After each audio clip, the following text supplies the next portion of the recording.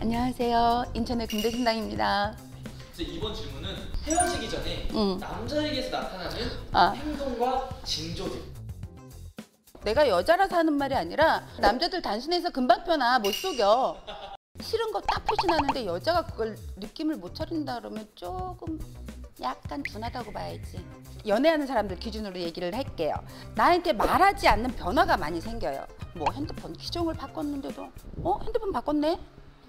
어 기간이 다 돼서 약정 끝나서 성의가 없는 대답 어, 이런 대답을 좀 많이 하고요. 갑자기 또 남자가 부정적인 말을 많이 해.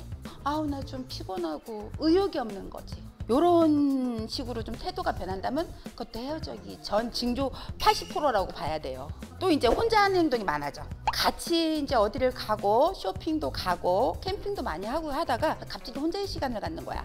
어, 딴 여자를 만나서 딴 여자랑 다닐지는 모르겠지만 같이 하다가 혼자 하는 게 많아지는 거지. 뭐 친구들이랑 같이 뭐 운동을 한다든가. 그리고 대화 내용의 공감 능력을 남자가 안 가져요. 머리 이렇게 바꿨어. 머리 염색했는데 어때? 그럼 어 염색했구나. 어 잘 어울려. 영혼이 없잖아. 그리고 이유 없이 번번이 핑계거리가 많이 생기고 만나는 횟수가 줄어. 99% 이거는 끝났다고 봐야 돼요. 이거는 헤어지기 전에 바로 신호니까 여자분들 민감하게 받아들여야 돼. 그래도 먼저 차이지 말라고 얘기해 주는 거야. 먼저 차라고. 어 먼저 차라고 짜증 나니까 차일 때까지 기다리지 말고 확 걷어 차버려. 음, 이런 게 남자들한테 나타나는 증상이고요. 사랑하고 감기는 못 감추듯이 헤어질 때 남자도 똑같아요.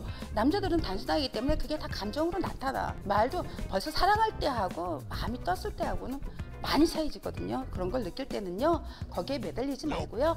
먼저 걷어 차세요. 자존심이라도 지키게. 이 사람이 나한테 마음이 식은 건 나는 아는데 음. 이 사람이 예전처럼 나를 좋아하게. 아 방법은 물론 있어요. 근데 마음 또 한 번 떠난 사람 또 떠나지 말라는 법 있나? 어 나 같은 경우는 잡지 말라라고 거의 얘기하는 편인데 내가 죽어도 이 사람 못 놓겠어 싶은 사람 있으면 저한테 오세요. 근데 안 죽어 살아. 또 딴 사람 만나고 꽁냥꽁냥하고 잘 살아. 많이 힘들다면 어 정말 많이 힘들다면 만남을 좀 더 이어갈 수 있는 방법이 있어요. 근데 한 번 변한 놈은 또 변한다. 진짜로. 감사합니다.